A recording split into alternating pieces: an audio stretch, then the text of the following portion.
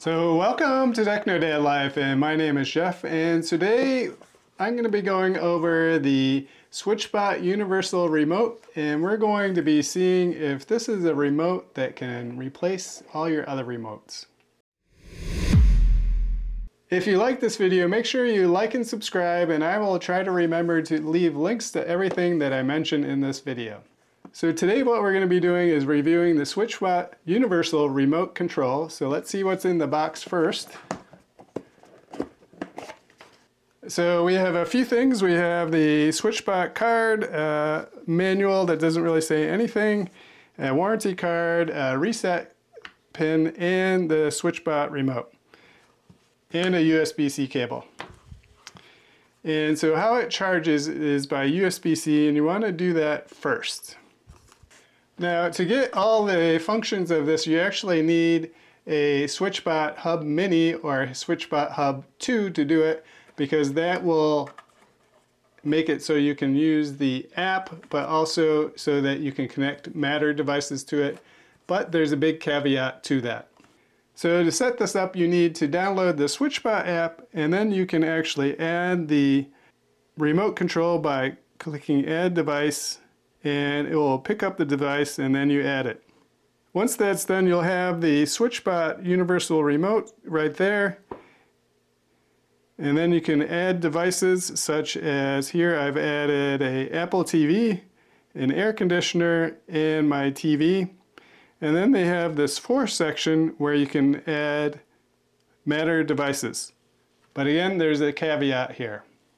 So down at the bottom here, we can go to automations. We can add automations. These automations mainly work with SwitchBot devices, but any devices that you've added in through your home app here, you can actually add in as an automation. So if you look here, I have the air conditioner. So when I return home, Within, when I get within a 100 meter radius, it will turn on the air conditioning to cool, auto, and 70 degrees.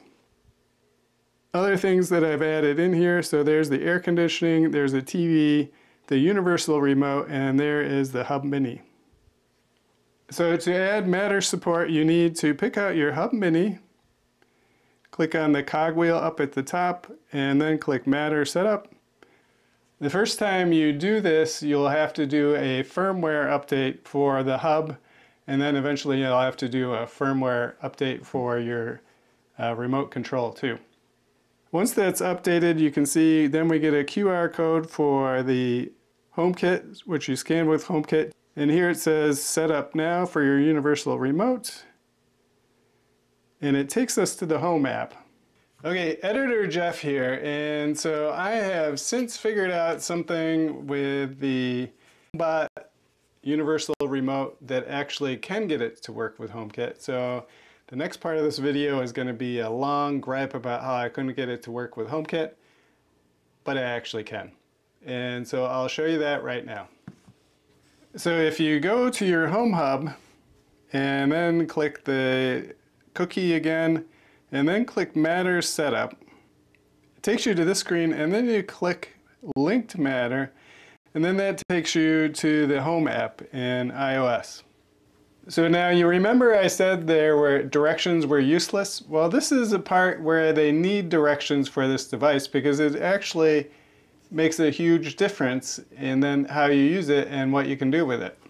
So if we look down here, we don't see anything is really, nothing has been added that we can know of. But when I did the matter setup, I put it in the living room, and if we go click on living room, there's this arrow pointing to the right. We scroll down, and at the very bottom, it says Matter Accessory 2. It would have been nice to know I could look for that. And then we click on that, and we scroll down and here we can see our buttons. And so if we go, this one, I've changed it to the movie theater mode for my living room. And you can test it, turn it on and off.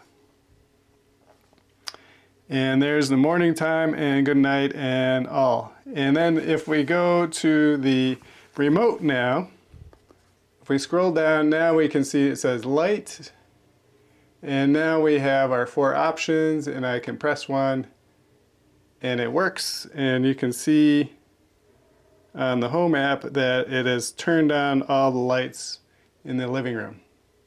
So what that means is then you can use this device to control any scenes that you already have on your iPhone. So say you want to close the garage door opener and you have that in your uh, iOS or in your home app. You can just click a button, your garage door is closed. Seems pretty easy. So that makes this a game changer. And so I'm changing what I said in my original review and saying this is actually an awesome device because of that.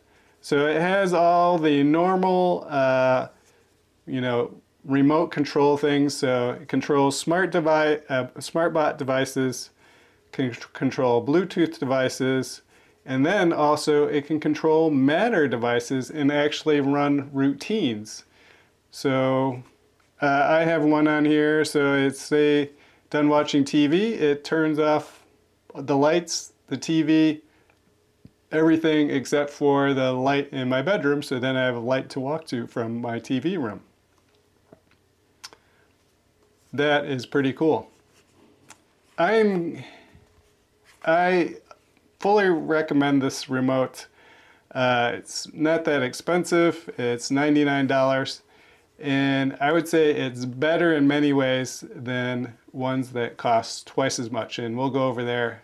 We'll go over the rest of that in the video coming up. Was a spot where you could add uh, four different devices. And so those are for Matter devices. So we can see those right here. So I've actually changed them because I was trying to get them to change different light modes in my living room. And so uh, normally it says device 1, device 2, device, device 3, device 4. All you can do is in this window is name them. So you can't actually change anything there. And how you would name them is just click on that little pencil and then change the name and then click save and then done. Now the interesting thing is those uh, four uh, Matter devices do show up in Home Assistant. So let's take a look at that. Now if you take a look up here you can see those are the same lights morning, movie, and night that we saw in the app and if we go to our remote control we'll see them there too. And so there on the remote we have our Apple TV, our air conditioner, our TV, and then where it says light, we click on that. Now the interesting things, if I click on these buttons and go to Home Assistant, it does uh, register them. So the one, two, three, or four are related to, there's four buttons across here on the top. So we're going to press one of those buttons and then you'll see it actually shows up in Home Assistant as doing something. So let's do that. So if you take a watch in this area, you'll see things happen. And so there is the first one. There's the second one, third one, and fourth one. So now it is sending out signals and it is registering it. Uh, it does show up in Home Assistant, but I have not yet been able to get Home Assistant to do anything with it for some reason. So that's for another video.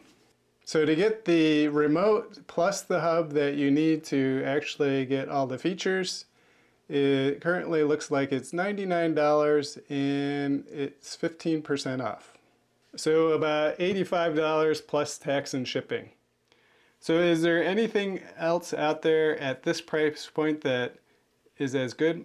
Personally, I don't think so. Once they added the Matter support and I sort of figured out how that it was there all along, they just didn't tell you anything about it, uh, it is actually worth it because you can do, again, just those, hit those scenes. And so I'll show you actually again because uh, before, and before that when I did this, I actually covered it up. So we'll do it again. So here I'm going to press it on and there all the lights turn on.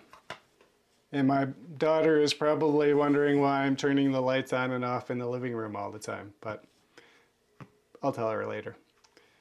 So that's it for today. Uh, I would definitely recommend this now that it's been updated so the matter works and you can run scenes.